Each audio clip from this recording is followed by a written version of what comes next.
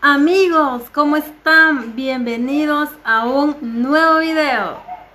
En esta oportunidad hablaremos de una persona bastante importante aquí en El Salvador, la ministra de Desarrollo Local María Navarrete o mejor conocida como María Chichilco. Así que quédate todo el video y conoce un poco más de la mujer que impulsó la obra o la construcción de más renombre del 2019. María Ofelia Navarrete de Dubón, o mejor conocida como María Chichilco, era una comandante guerrillera desde el año de 1979 hasta los acuerdos de paz.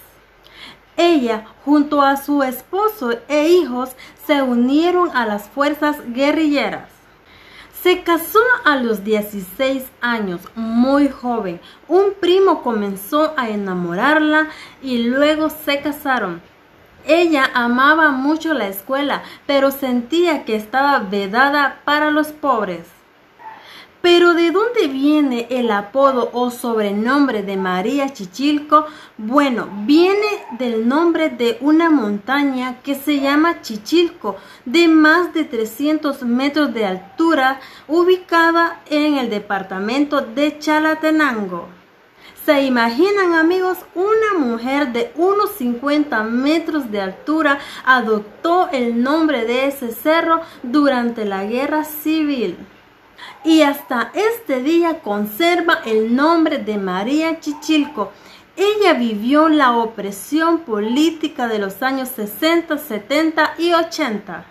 El 9 de septiembre del año de 1979, ella se fue a huir, se fue para una montaña hondureña hasta que pasara un operativo militar en Arcatao, Chalatenango. Después se mantuvo en la clandestinidad y regresó a vivir a su pueblo después de 26 años, después de que pasó toda la guerra civil hasta el año 2005. Le gusta que le digan María y María Chichilco aún más. Para el año de 1982 ya era combatiente de la guerrilla, ya pertenecía al Frente Farabundo Martí para la Liberación Nacional, mejor conocido como FMLN.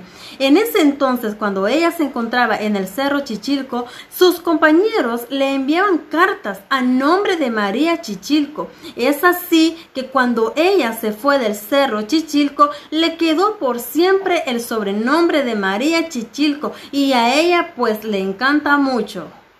Nunca estuvo en el mismo lugar por mucho tiempo. Una noche dormía aquí, otra dormía en otro lado y así era su vida. Ella junto a su esposo se organizaron en la UTC, que significa Unión de Trabajadores del Campo, que surgió en el año de 1974 después del fraude del año de 1972.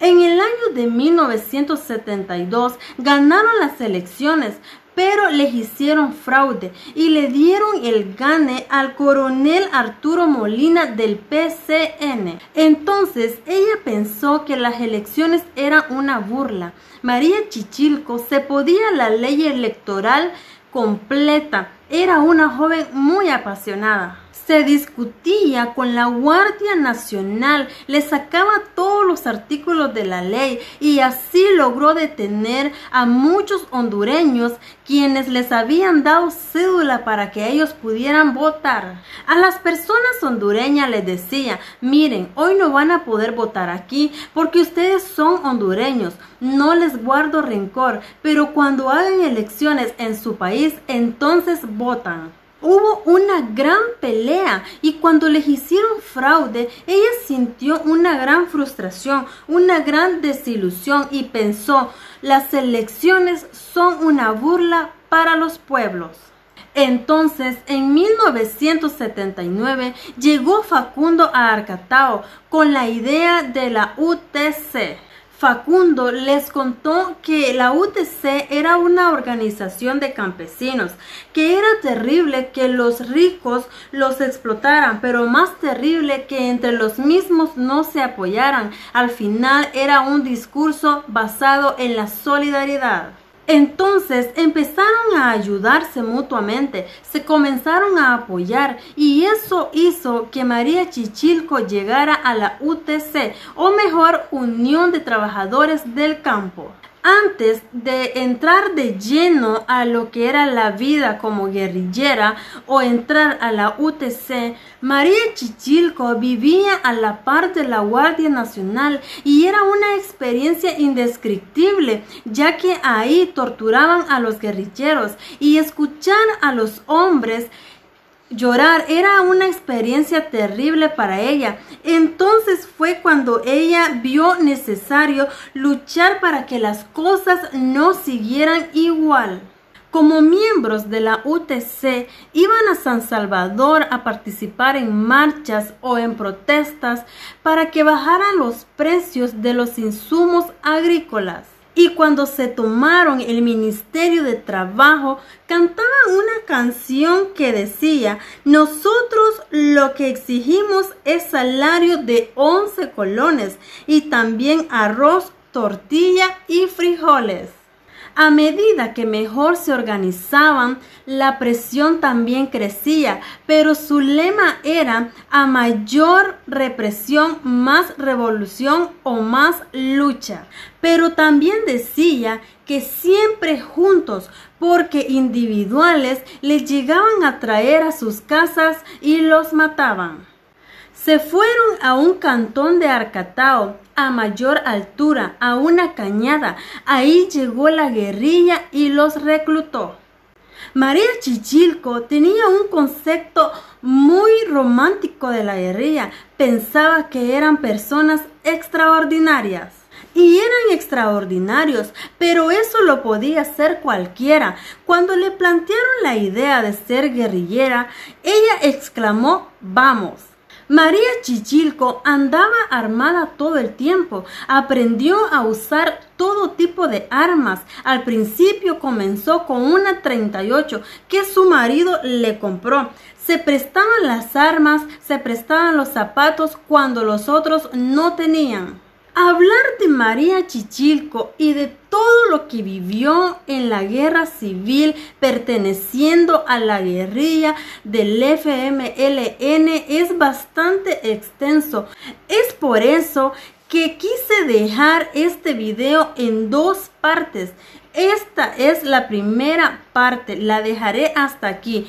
Continuaré una segunda parte muy interesante que es el final de la guerra para María Chichilco, que siguió después de los acuerdos de paz en su vida. Espera el segundo video con muchas ansias porque trae información muy importante para ti. Y como podemos darnos cuenta, María Chichilco no surgió en el 2019 cuando nuestro presidente Nayib Bukele la declaró como ministra de Desarrollo Local. María Chichilco tuvo una trayectoria desde la guerra civil y por eso siento que es muy importante saber la trayectoria de nuestros de nuestros líderes, porque son ellos los que gobiernan y los que dirigen nuestro país. Así que amigos, hasta aquí la primera parte de este interesante tema.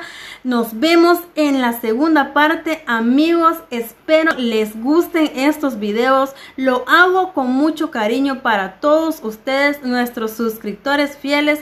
Recuerden que si no están suscritos, suscríbanse a nuestro canal Sin Fronteras HD, compartan este video en sus redes sociales y bueno, me despido, yo soy Yasmín, hasta la próxima.